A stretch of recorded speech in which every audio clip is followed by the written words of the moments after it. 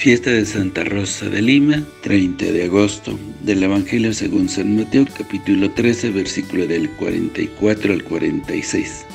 En aquel tiempo Jesús dijo a la multitud, el reino de los cielos se parece a un tesoro escondido en un campo, el que lo encuentra lo vuelve a esconder, y lleno de alegría va y vende cuanto tiene y compra aquel campo.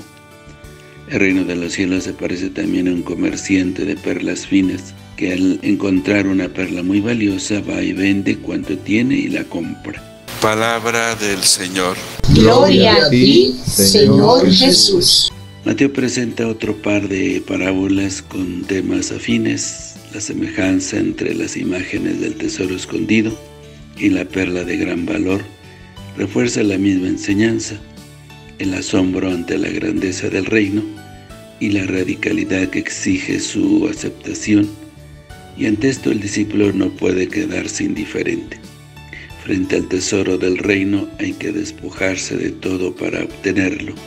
Las dos parábolas encarecen el valor del reinado de Dios, el cual hay que sacrificar todos los demás valores.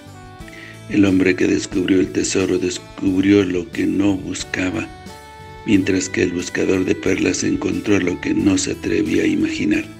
No se entra en el reinado de Dios por los propios méritos, sino que es un don que se ofrece y que pide una respuesta. A los afortunados con el hallazgo les queda por delante la labor de toda una vida, la de ir subordinando todo, vender todas las posesiones, dice Jesús, a la causa del reino. El reino se convierte en el único valor absoluto para quien lo de descubre es la mayor riqueza para el seguidor de Jesús. Pero más que una invitación a realizar acciones heroicas, se invita a los lectores a que hagan una opción fundamental por Cristo y su plan de salvación. Gratuidad divina y cooperación humana se conjugan en una misma dinámica, la realización del reinado de Dios en el mundo. Hoy celebramos la fiesta de la primera santa nacida en América, Santa Rosa de Lima. Ella nació el 20 de abril de 1586. Sus padres fueron cristianos, su nombre es Isabel, pero desde la infancia había de recibir el sobrenombre de Rosa. Para no verse obligada por sus padres a contraer matrimonio, se cortó su bella cabellera. Llevó una vida austera, tomó el hábito de la Tercera Orden de Santo Domingo. Se propuso seguir a Santa Catalina de Siena. Desde muy pequeña empezó a practicar la oración mental y ese voto de virginidad. Tuvo dones extraordinarios de oración con el que el Señor le regaló. Fue contemplativa, tuvo un amor a la soledad, pasaba largas horas en su celda de anacoreta.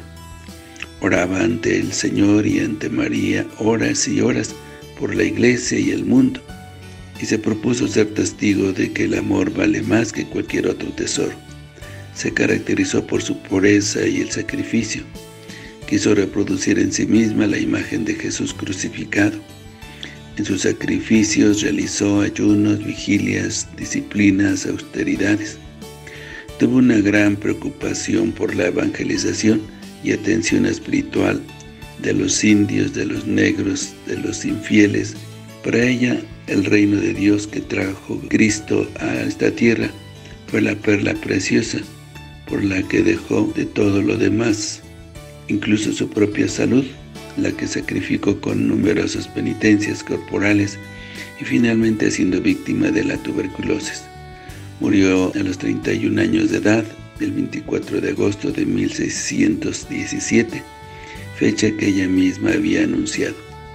Por sus dones naturales y sobrenaturales con que Dios la adornó, por su mensaje de tanta trascendencia, por su rápida difusión de sus obras escritas, su culto se extendió por todo el continente, ya desde los tiempos coloniales. Es declarada por la Santa Sede Patrona de América. Que el Señor los bendiga.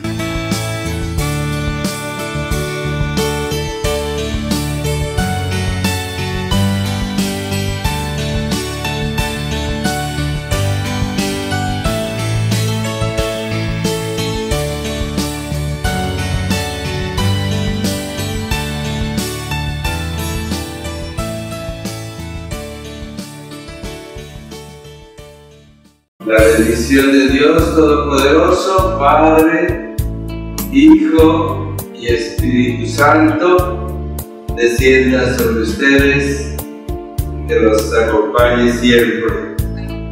Que el Señor los bendiga. Si te gustó este video y deseas seguir recibiendo el Evangelio, misa en vivo, oraciones y muchas reflexiones más, ayúdanos a seguir creciendo. Suscríbete a este canal de YouTube. Activa la campana de notificaciones. Deja tu comentario, dale me gusta y compártelo con todos tus seres queridos.